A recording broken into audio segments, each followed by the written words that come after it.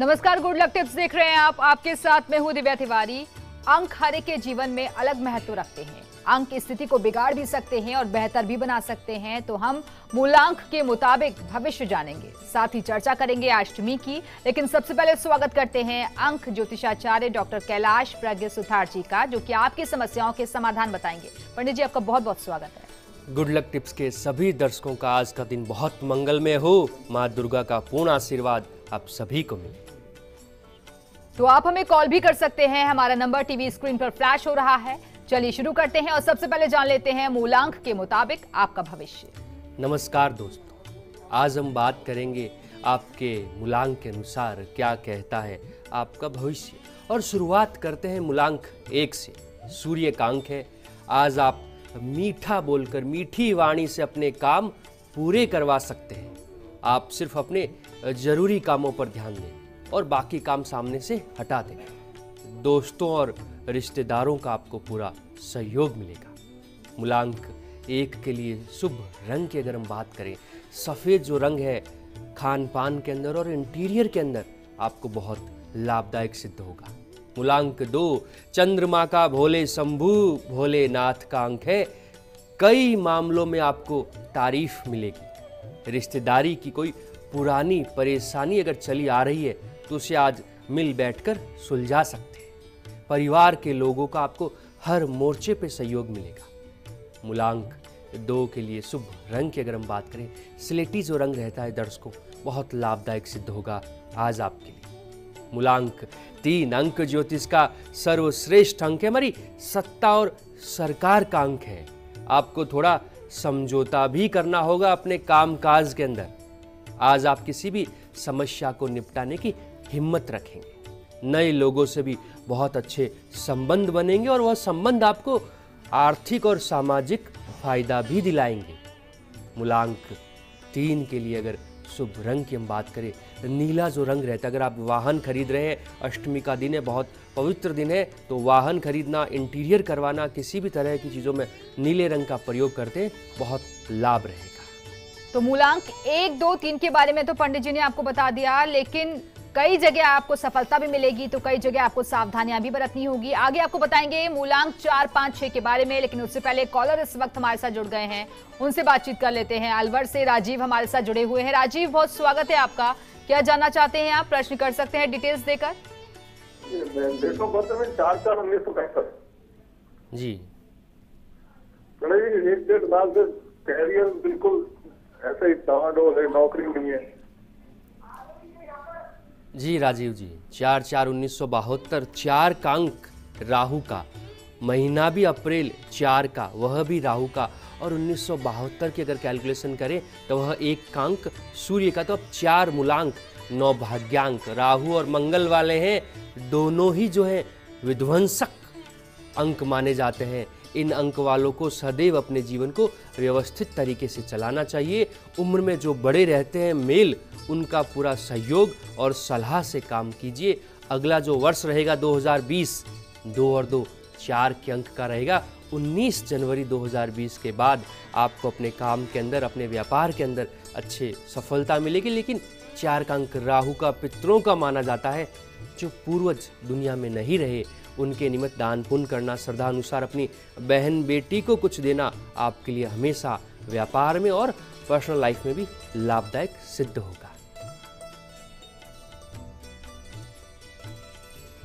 और चलिए अब बात करते हैं नवरात्र की भी क्योंकि आज महाशक्ति के आठवें स्वरूप की पूजा अर्चना की जा रही है यानी कि महागौरी की।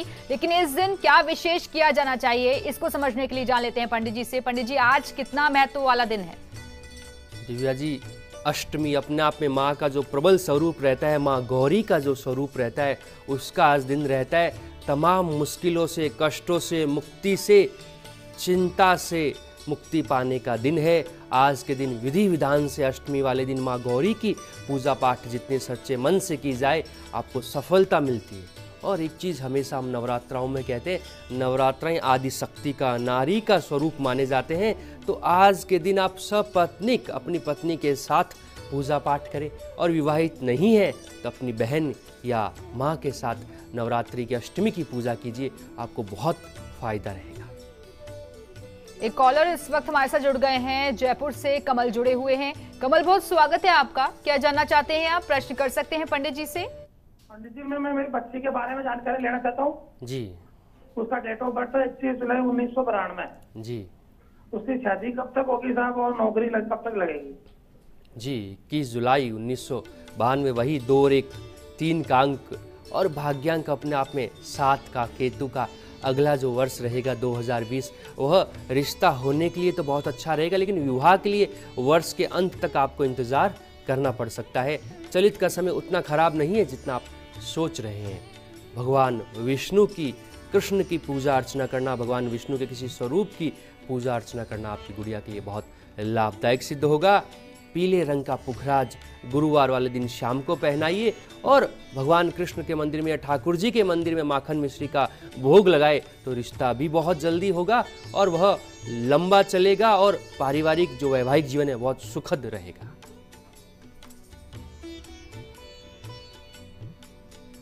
पंडित जी मूलांक एक दो तीन के बारे में तो आपने बता दिया था लेकिन मूलांक चार पाँच छह के बारे में क्या कहेंगे? जी दर्शकों। मूलांक चार, राहु का पितरों का अंक माना जाता है। चार, तेरह, बाईस और इकतीस जन्म तारीख वालों के लिए। कैरियर के मामले में आपके साथ कुछ अच्छा हो सकता है। अपनी सेहत का पूरा ध्यान रखें। कार्य क्षेत्र में आपको उन्नति मिलेगी। प्रमोशन के और मनपसंद जगह ट्रांसफ़र होने के योग है। मूलांक चार के लिए शुभ रंग की अगर हम बात करें, लाल जो रंग रहता है विशेष रूप से लाभदायक सिद्ध होगा आज आपके मूलांक पाँच। बुद्ध का भगवान श्री गणेश का गणपति का अंक है। गुप्त बातें सार्वजनिक हो सकती है। अगर आप किसी विशेष महकमे से ताल्लुकात रखते हैं तो अपने काम में बहुत ध्यान रखिएगा। काम काज के लिहाज से दिन उतना अच्छा नहीं है जितना आप सोच रहे हैं। स्वास्थ्य भी आपका बाधित रह सकता है। मूलांक पाँच के लिए शुभ रंग की अगर हम बात करें, नीला जो रंग रहता है दर्शकों, बहुत लाभदायक सिद्ध होगा। आज आप मूलांक छः शुक्र का, देवी कृपा का अंक है। आज नवरात्राओं का अष्टमी का दिन है, देवी का दिन है। दिमागी स्तर पर चुनौतियाँ मिलती रहेगी। दिमाग में कुछ ऐसे सवाल रहेंगे, जिनके जवाब आपको शायद ही मिल पाएँगे। हाँ नारी शक्ति के साथ संबंध बहुत मज़बूत होंगे, बहुत लाभ रहेगा। और आप थोड़ा थोड़ा आज परेशान रह सकते हैं अपने दोस्तों को लेकर। मूलांक छः के लिए शुभ रंग की अगर हम बात करें हरा जो रंग रहता है दर्शकों बहुत लाभदायक सिद्ध होगा आज आपकी और चलिए चर्चा को आगे बढ़ाएँगे लेकिन उससे पहले एक कॉलर इस वक्त हमारे साथ जुड़ गए हैं। यूपी से अशोक हमारे साथ जुड़े हुए हैं। अशोक बहुत स्वागत है आपका। किसके बारे में आप जानना चाहते हैं प्रश्न कर सकते हैं? गुरु जी प्रणाम। नमस्कार अशोक जी। मेरी डेट ऑफ़ बर्थ है उन्नीस मई उन्नीस सौ पचासी। जी। मैं जानना चाहता हूँ, मैं जुडिशरी जज बन सकता हूँ या वकालत करूँगा, वकील हूँ प्राइवेट गुरु जी। 19 मई उन्नीस सौ पिचासी, उन्नीस, एक और नौ, सूर्य और मंगल ने मिलकर सूर्य का निर्माण किया। सूर्य अपने आप में राज योग का कारक रहता है और आपका भाग्यांक जो है, वह भी पाँच अंक बुद्ध का वकालात का रहता है तो वकालात में राजयोग या तो सरकारी वकील बन सकते हैं या जुडिशियल सर्विसेज़ में आरजीएस या एडीजे में भी आप जा सकते हैं। समय चलित का बहुत अच्छा चल रहा है। 2020 और 21 दोनों वर्ष भी सर्वश्रेष्ठ रहेंगे। आप किसी भी गणेश मंदिर में बुधवार वाले दिन दर्शन कीजिए। सफ़ेद रंग, आसमानी रंग और हरा रंग, इन रंगों का प्रयोग अपने कपड़ों में जितना ज़्यादा करेंगे, आपको अपने फ़ील्ड के अंदर, अपने वकालत के क्षेत्र के अंदर बहुत लाभ रहेगा। पन्ना जो रहता है, वह धारण कीजिए बुधवार वाले दिन। जोधपुर से अगले कॉलर कन्हैया लाल इस वक्त हमारे साथ जुड़े हुए हैं। कन्हैया लाल जी क्या जानना चाहते हैं आप? सवाल कर सकते हैं। पंडित जी प्रणाम। नमस्कार कन्हैया लाल जी। जी जन्म तिथि है मेरी बाईस सितंबर उन्नीस सौ नवासी। जी। जी पंडित जी मैं ये कह रहा था अगस्त महीने में मुझे बहुत बड़ा लॉस हुआ है। जी। तो अब मुझे क्या किस क्षेत्र में करना चाहिए? वैसे मैंने बीएड भी कर रखा है सरकारी सेवा में जाऊँ या किसी व्यापार में किस क्षेत्र में जाऊँ मुझे प्रगति जी कन्हैया लाल जी। चार तारीख अपने आप में जो चार का अंक रहता है, वह राहु का पितरों का माना जाता है, लेकिन नेगेटिव सूर्य का भी माना जाता है और इसका जो विपरीत अंक रहता है, आठ को ही माना जाता है। अगस्त का महीना, आठवां महीना, इसलिए उसमें आपको नुकसान हुआ।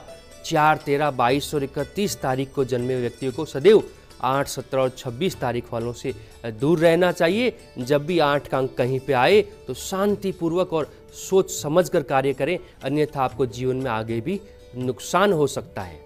कार्य की अगर बात की जाए, चार का अंक नौकरी के लिए सर्वश्रेष्ठ रहता है। आप मेहनत कीजिए, अगला वर्ष भी 2020 दो और दो, चार के अंक का रहेगा, आपका अनुकूल वर्ष है, आपको लाभ रहेगा। भगवान गणेश की और विष्णु की पूजा अर्चना कीजिए, क्योंकि बुद्ध और गुरु जितने उच्च के रहेंगे आपके, आपको अपने काम में, नौकरी में बड़ी सफलता मिलेगी। तो अगर आपके मन में भी कोई सवाल है और अगर आप भी समस्याओं का समाधान चाहते हैं तो फ़ोन लाइन्स हमारी खुली हुई है और नंबर्स पर कॉल करके आप अपनी समस्याओं का हल जान सकते हैं। आगे भी चर्चा को हम जारी रखेंगे लेकिन पंडित जी क्योंकि आज हम नवरात्र पर भी चर्चा कर रहे हैं लेकिन ये कहा जाता है कि माता की पूजा तभी संपन्न होती है जब कन्याओं का पूजन किया जाए। कई लोग अष्टमी को पूजन करते हैं और कई लोग नवमी को करते हैं लेकिन सही क्या है? दर्शकों बहुत एक कन्फ्यूज़न रहता है कि अष्टमी को कन्या पूजन करे या नवमी को। एक साफ़ सुथरा सीधा सा तरीका रहता है। आपकी जो कुल देवी रहती है, जिस परिवार में, जिस कुल में आपका जन्म हुआ है, उस कुल देवी को कितने निमित्त पूजा पाठ की जाती है, कितने दिनों का आप अनुष्ठान करते हैं, कितने दिन आप घट स्थापना करके रखते हैं, उसके अनुरूप ही कन्या पूजन करवाया जाता है। 80 से 90 प्रतिशत तक अष्टमी को ही कन्या पूजन करवाया जाता है। बहुत कम कुल देवी या माँ का स्वरूप रहता है, जहाँ नवमी की पूजा की जाती है। तो अगर आपको मालूम नहीं है किसी भी तरह से तो आप अष्टमी को कन्या पूजन करवाइए और अगर आपको मालूम है विधिवत तो आप नवमी को भी पूजन कर सकते हैं। लेकिन भोजन में क्या क्या बनाना चाहिए और भोग किन किन चीज़ों का माता को भी लगाएँ दर्शकों अष्टमी और नवमी को अगर आप कन्या पूजन करते हैं कन्याओं को खाना खिलाते हैं तो माँ गौरी और माँ दुर्गा को काले रंग के जो चने रहते हैं चने का भोग लगाना चने की सब्ज़ी बनाना वह अत्यंत प्रिय रहता है। पीले रंग का कोई भी मिष्ठान आप कन्याओं को खिलाइए, काले रंग के चने की सब्ज़ी बना के खिलाइए और विधिवत रूप से जब भी कोई कन्या आपके घर भोजन करने आए तो कच्चे दूध और गंगा जल से उनके पैर धोइए, मेहंदी उनके हाथों पे लगाइए और लाल रंग की जो चुनरी रहती है वह विधिवत ससम्मान उनको पहनाइए और जितना हो सके आप देवी के जो श्रृंगार के समान रहते हैं, वह भी देवी और माँ के स्वरूप के रूप में वह कन्या आपके घर आ रही है तो उसे ससम्मान, गिफ्ट दीजिए। बहुत लाभ और आपके जीवन में अनुकूलताएँ भर जाएँगी।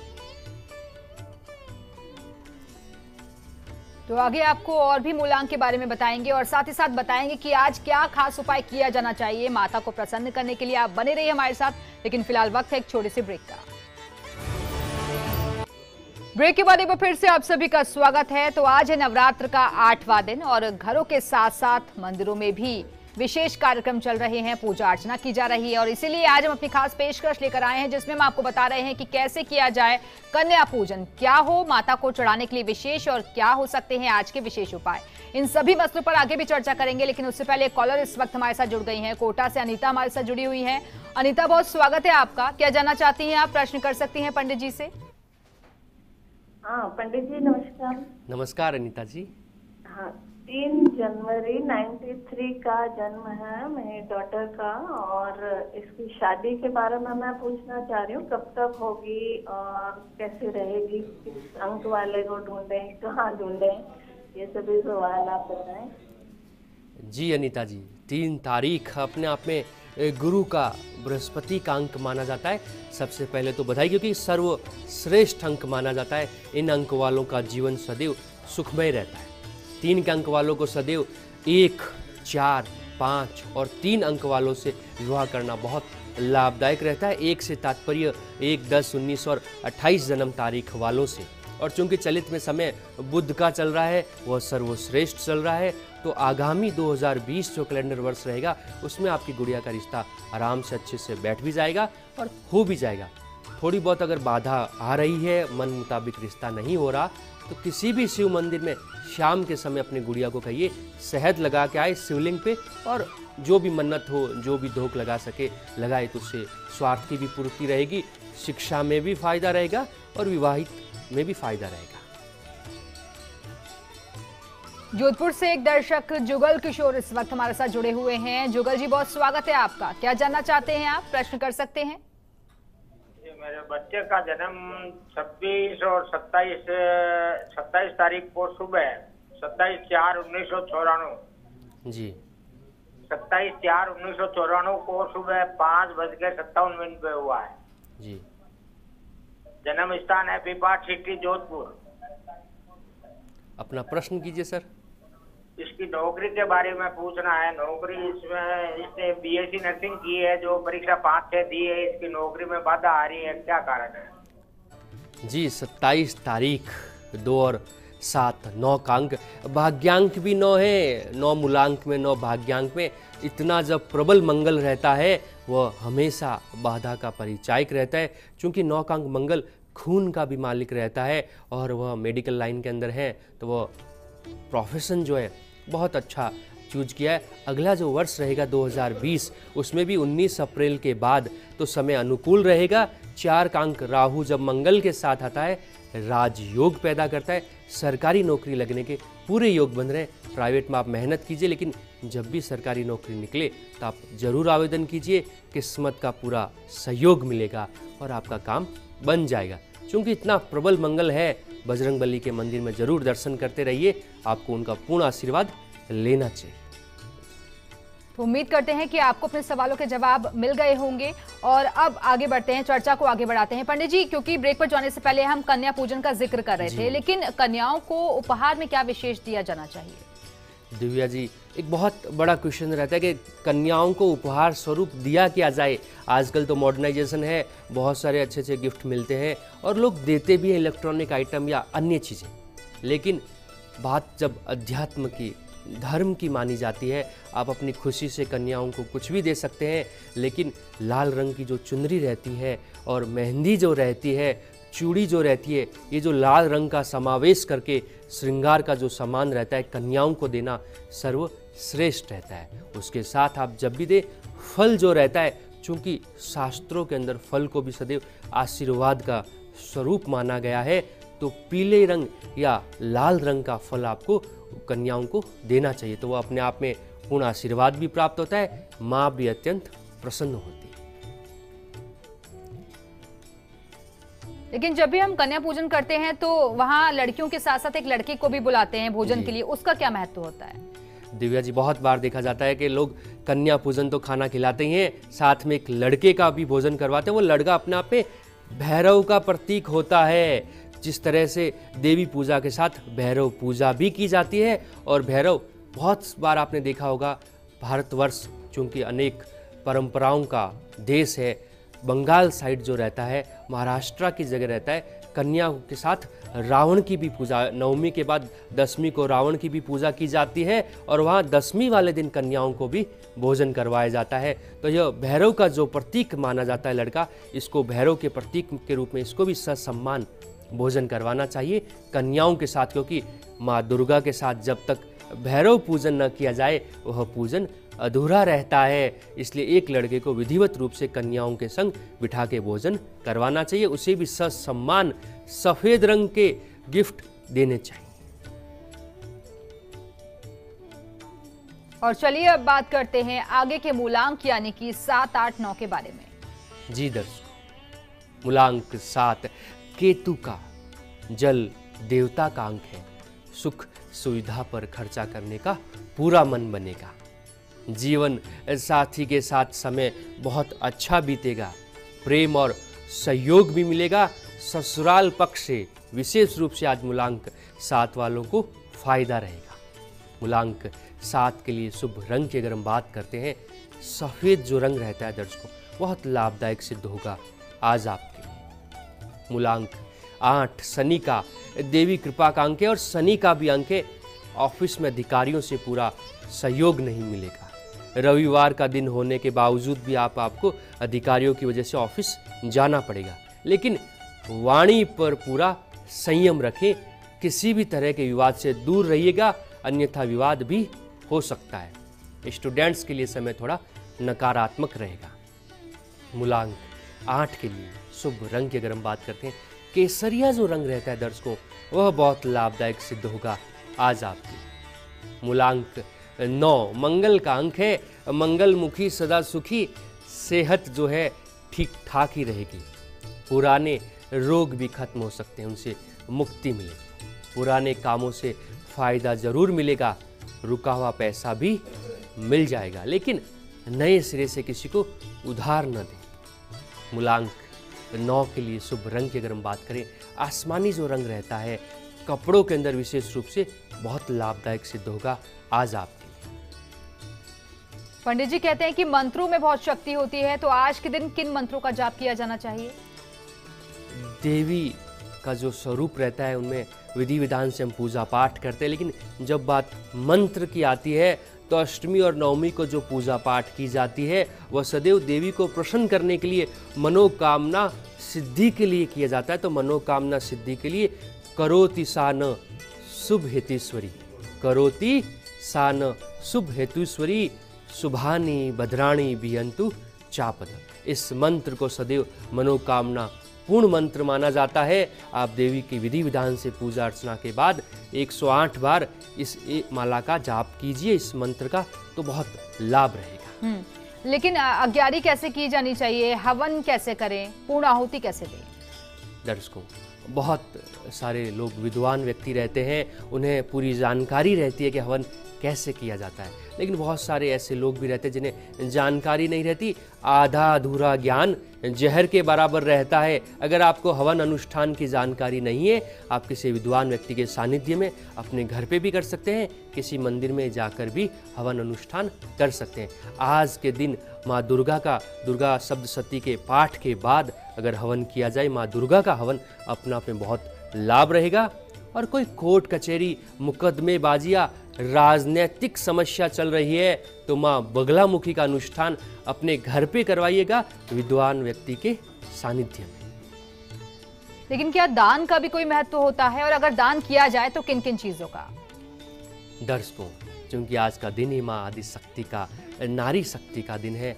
दान करना सर्वश्रेष्ठ है लेकिन सफ़ेद रंग का और लाल रंग का उसमें भी वस्त्रों का दान करना आज के दिन सर्वश्रेष्ठ माना गया है। वह भी घर की बहन बेटी और वह नारी शक्ति जो ज़रूरतमंद है। आपके आस पड़ोस में कोई विधवा या ज़रूरतमंद अगर महिला शक्ति हो तो उन्हें वस्त्रों का दान कीजिए।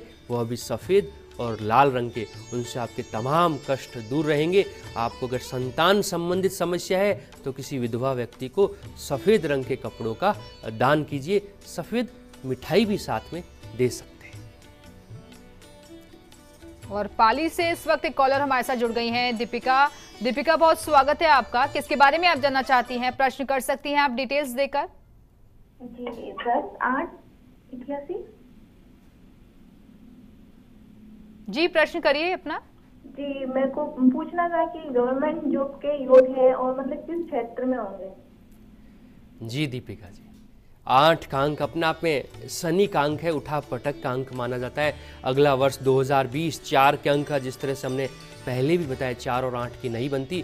अगले वर्ष अपने पूर्ण रूप से अपने स्वास्थ्य का ध्यान रखिएगा और आप किसी भी ऐसी जगह नौकरी न कीजिएगा जिसमें आपको नुकसान हो सकता है या भारी भरकम पैसा देने के बाद आपको कोई नौकरी मिल रही हो तो उसमें भी आपके साथ धोखा, चिटिंग या फ्रॉड हो सकता है। रही बात। नौकरी की मेडिकल का जो फ़ील्ड रहता है होटल मैनेजमेंट का जो फ़ील्ड रहता है मीडिया का जो फ़ील्ड रहता है फ़ैशन और मॉडलिंग का जो फ़ील्ड रहता है उसमें आपको बहुत लाभ रहेगा नौकरी लग जाएगी।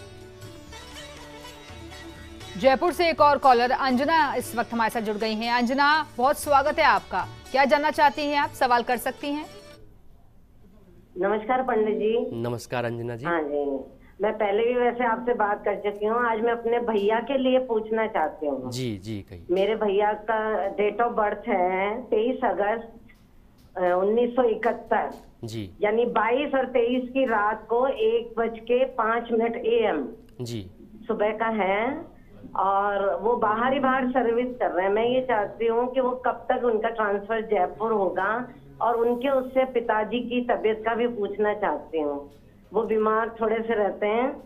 तो ये बताइए कि एक तो ट्रांसफ़र कब तक होगा भैया का और पिताजी की तबीयत सही चलती रहेगी?